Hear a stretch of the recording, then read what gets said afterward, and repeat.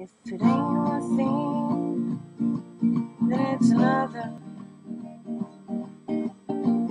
That's why I prepare like no other.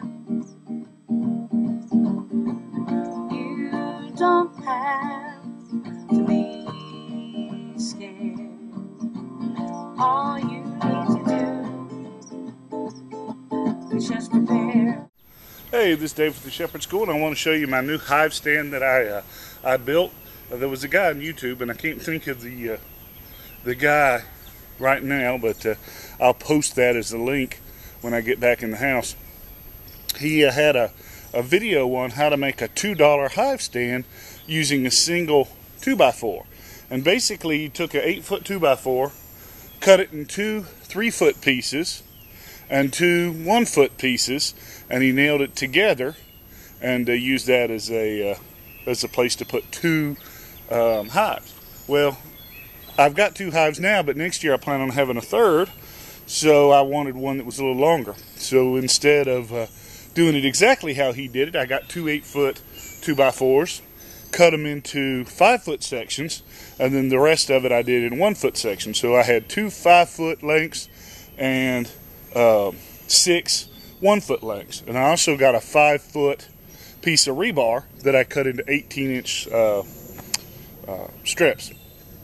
So all I did, as you can see, I uh, made it kind of like a ladder. And every foot I nailed a, uh, a one foot board.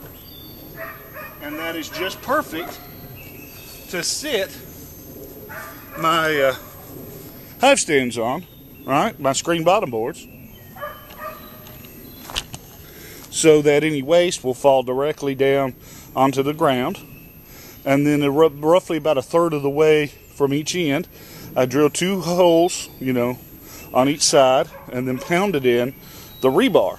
Then I just took it outside and used my level, you can see there, and a dead blow hammer, and, and beat it into the ground. My original goal was to set the uh, rebar into some uh, little Tupperware containers full of oil for uh, ant traps, but my ground is pretty uneven.